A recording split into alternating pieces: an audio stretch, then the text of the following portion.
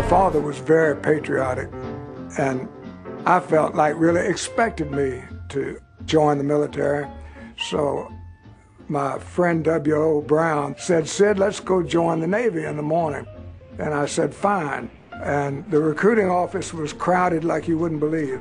So we walked up to the head of the line, saw this Marine recruiting sergeant. He came over and said, Do you boys want to kill Japs? And we said, Yeah, that's the idea. But we're going to join the Navy. And he said, No. He said, You don't belong in the Navy. You belong in the Marine Corps. You can't get in the Navy anyway because your parents are married.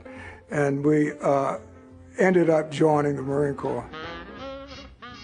So Sidney joined the Marines. Daddy told Mother, You might as well sign the paper, Kate. He's going to go anyway. He was only 17 years old.